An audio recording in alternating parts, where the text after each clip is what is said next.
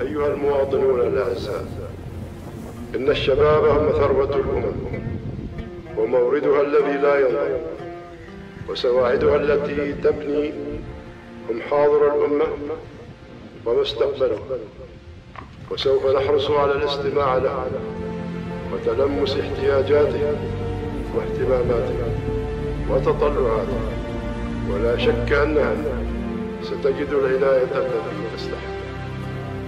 وسنمده بكافة أسباب التمكين باعتباره الأساس الذي من خلاله سيتمكن أبناؤنا من الإسهال في بناء متطلبات المرحلة.